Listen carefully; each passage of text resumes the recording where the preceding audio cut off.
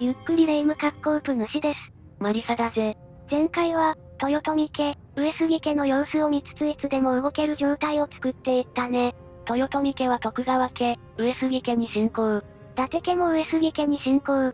あれ？なんか一番の貧乏くじ上杉家かも。まあとんでもない立ち回りしてたししょうがないんだぜ。それじゃあ状況確認と今回の作戦考えていくよ。前回は豊作発動して終わったんだったな。そう、ほぼ全部の城で兵力が倍、ただ最大兵力が増えてるだけだからマックスになるには時間が必要。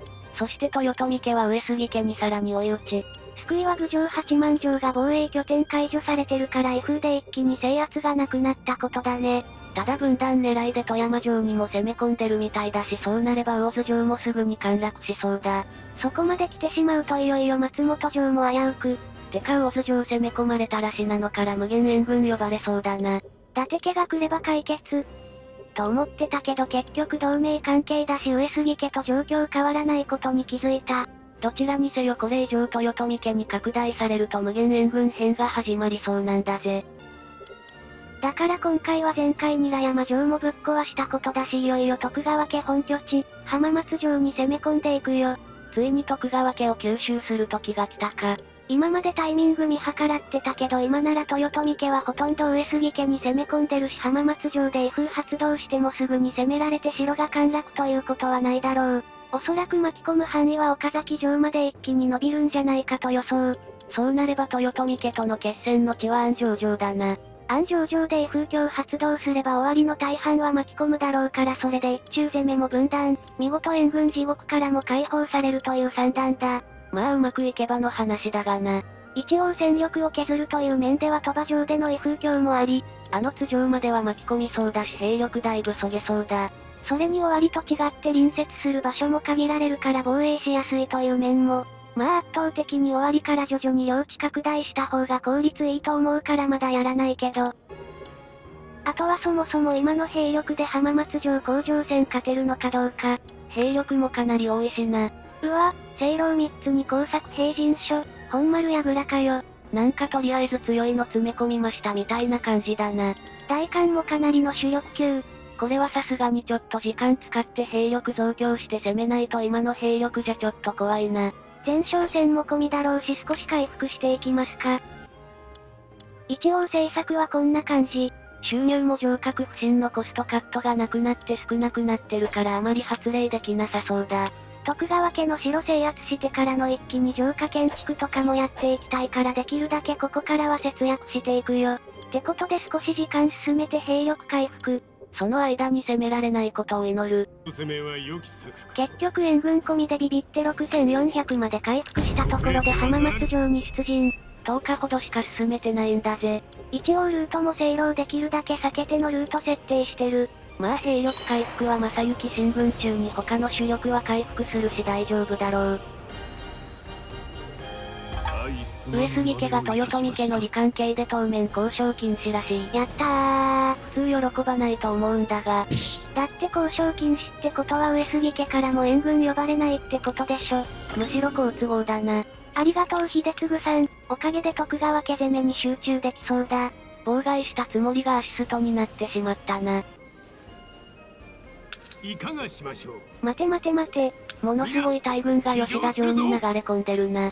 さっきまで全く攻めてなかったじゃん。まあうちが攻めたことで漁夫狙いなんだろう。まだ浜松城まで到着に時間かかるしこれは岡崎城での決戦になるかもしれない。その前に吉田城での決戦になるかもな。どんどん戦線が下がれば下がるほど威風効率が悪くなっちゃう。もうそろそろ浜松城集結。岡崎城はダメそうだけど吉田城なら浜松城工場戦終わった後防衛迎えるかも。そして全軍到着。マジでタイミングよく豊作来ててよかった。なかったら単純に兵力半分と考えたらかなり苦戦を強いられただろう。平均兵力は1700ほど。まだ四天王ほとんどがいないからそこまでヤバさはないな。家康さんが一番ヤバいくらい。こう見るとまだ佐野家火災も発令してないし徳川家吸収した後里見家従属火災発動でかなりムッキムキになりそう。豊臣家戦が楽しみだ。甲状腺開始。今回は強い設備多いしそれなりの被害は覚悟しないとな。それじゃあ作戦話していこうか。順に上の部隊から、藤正さんペアは地味に本丸に範囲かぶってる陣太鼓の破壊。そしてその下、中央除血ペアはその下の杉正さんペアと強撃で陣太鼓狙い。最後に一番重要なのが真田親子の工作兵陣所破壊部隊。工作兵陣所の範囲が広くて中央陣太鼓攻撃部隊にも影響が出るから主軸2人をつぎ込んで一気に破壊していくんだぜ。工作兵陣所で防御力ダウン、陣太鼓で攻撃力アップ、さすがたぬきさん、やることがえげつない。秀忠が見たら父上おやめくださいと言いそうな鬼畜さだ。むしろ家守るためにもっとひでえ提案するかもしれないが、とりあえずこのままちまちま削っていくよ。ここで影のりの混乱が入ったところで中央部隊が上の陣太鼓に向かい始めた。まさかの混乱で間に入られることもなく見捨てられる正成さん。AI もせめて工作兵陣所に援軍行けばもっと打ち苦しめられたのにな。そのまま一気に中央陣太鼓は突破して工作兵陣所も終わりそうだから縄文攻め準備中。一等祭壊滅してこれで工作兵陣所も楽に破壊できるだろう。てかこの時気づいてなかったんだけど本丸櫓の範囲でかすぎて正幸さん削れていってるんだよね。あ、ほんとだ。本丸が下に寄ってるから範囲かぶってたのか。さて、雪村さんと正幸さん自費に縄文戦仕掛けていこうか。まさかの家康が前に出てきて正幸の先方発動。重政さんと協撃してるけど雪村さん到着次第変わる予定。上の陣太鼓もそろそろ破壊できそうだ。これで全部対縄文に集結できるね。そして縄文戦。本丸櫓と縄文かぶってかなりダメージ食らってるんだぜ。これは早く縄文破壊しないときつい展開になっちゃう。そして4点ほど全体で兵力削られながらようやく縄文破壊。そして完全に本丸櫓の存在忘れて全部大範囲内に入れる私。おバカですね。それでもすぐに気づいてそのまま本丸制圧。なかなか強い守備だったんだぜ。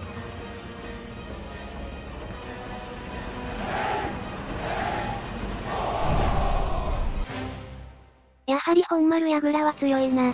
そこだけでどれだけ削られたことか。それでも誰も打ち取り発生しなくてよかった。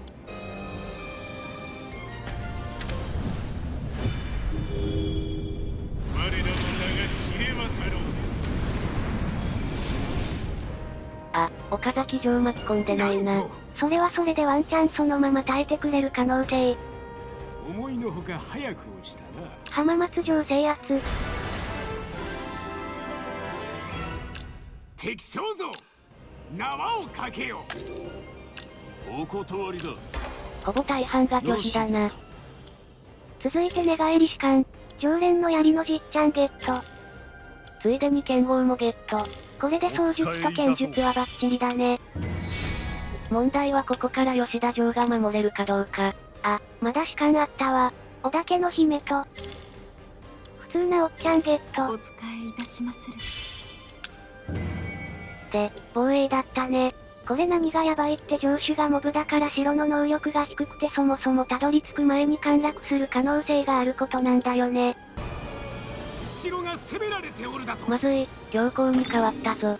急いで向かってるけど間に合うかどうか。確かにこの能力ならそこまで時間は残されてなさそうだ。だから岡崎城は残ってくれたおかげで案外粘れるかもしれないんだよね。なんとか正幸さん間に合いそう。敵を蹴散らすぞ目の前の軍に到着したがここは参戦範囲じゃないみたいだ。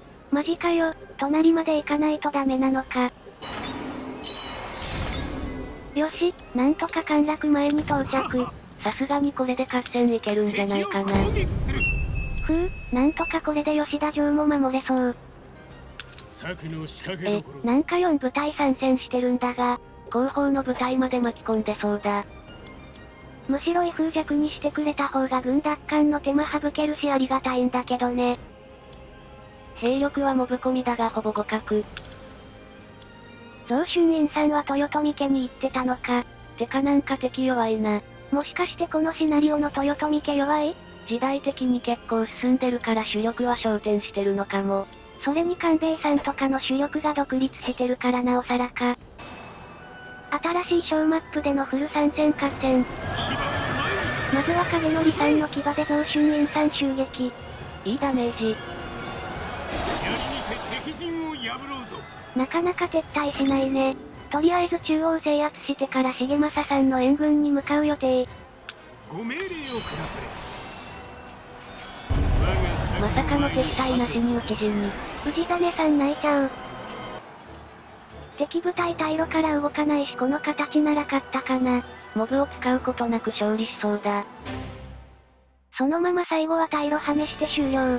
余裕の大勝利だ。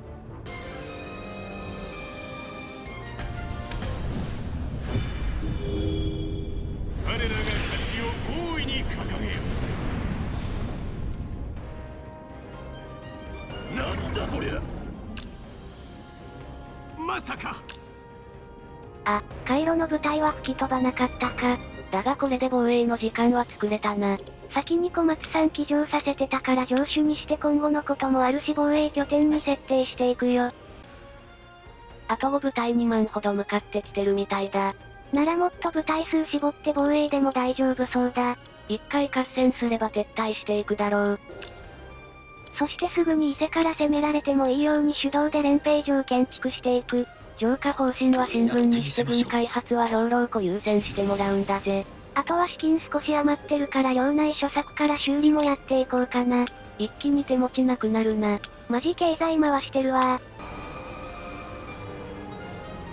ここで勝てないと悟ったか撤退。吉田城防衛成功。なんなら岡崎城も兵力多かったし耐久値高いから防衛成功しそうだ。なんやかんやで結構理想の形でとうとうに制圧できたな。これはでかすぎる。岡崎城残ってることで吉田城しか隣接してないから防衛も結構楽そうだ。これは岡崎城が粘ってる間に基礎福島城ルートで岩村城決戦かな。そうすれば上杉家の防衛にも繋がるし、とうとうにも守れる。めっちゃいいじゃん。領地もまんべんなく拡大だから戦線も分厚くなりそうだ。何より徳川家本拠地が韮山城になったのもでかい。これで無駄に豊臣家に戦力渡すこともないんだぜ。それじゃあ騎乗して主力の再配置やっていこうか。再配置中に山手殿が軍団長になれることを発見。これで関東任せて収入もアップだ。一応目的ももう一つあって韮山城攻めを任せようと思う。モブだらけで鬼畜なこと言ってて草。量は質を量がする。検証で学んだから何回か攻撃すればいけるような気もするんだよね。まああまり韮山城に量かけて里見家に攻められないといいが。再配置、軍団の設定も完了。岡崎城も防衛成功したみたいだ。さすがすぎる。半月カット。騎乗待ちと兵力回復していってるよ。また岡崎城に攻め始めたな。もう少し回復したら岡崎城が陥落前には岩村城に到着したいね。もしかしたら F で岡崎城の部隊も吹き飛ぶかもしれないしな。まあ制圧されたらされたで岩村城の F で巻き込むかもしれないしいいんだけど。さらに連兵場作っていく。翌月。どうやら関東軍団は韮山城攻めるようだ。ラストワンの調整だけは確実にしないとな。ここまで来て豊臣家に徳川家九州とかシャレにならないからね。それじゃあ軍団も動き出しそうだし主力8部隊回復してるところで攻めていくよ。今回浜松城は回復あまりしてないからお休みなんだぜ。宇治てるさん参戦させたいからどこかの城とチェンジしていくよ。いい感じに集まりそうだな。徳川家に攻めてるのは終わり周辺だし今向かってるのは機内周辺から来てるから潰せばワンコそばも少しは同様で防げそうだ。ここで関東軍団出陣。先に制圧しそうになったら軍団解散させて騎乗させるよ。てか案の定関東全部隊出陣か。里見家に攻められないかどうかだけが心配だ。そろそろ接敵。おそらく足りてるはず。よし、しかも兵力うちの方が多いのか。まだ豊作効果続いてるからな。そういやそうだった。もうそろそろ切れそうだし今のうちに行けるところまで豊臣家潰していかなければ。参戦部隊確認。マジでなんか弱くね？能力見る感じ誉れ発動してるのかな。兵力も能力も打ち勝ってるしこれは案外豊臣家ちょろいか。真の恐ろしさは兵力の多さ、手数の多さだからな。さすがにこのまま合戦すると時間がやばいことになりそうだから次回にしようか。岡崎城ギリギリ防衛成功した模様。強すぎるだろ。最後に兵力確認。豊作切れたら兵力が半分くらいになるとして3倍ほど違うのか。伊達家とほぼ同じくらいかな。いつの間にか伊達家は全部東北従属させて統一してた。もう攻めるところが上杉家だけになるな。次回は豊臣家との最終決戦編。いよいよ後半戦突入だな。無限にやってくる舞台対策も考えなければ。ってことで今回はここまで。チャンネル登録がまだの人は、ぜひチャンネル登録よろしくお願いします。よろしくなんだぜ。それでは、ご視聴ありがとうございました。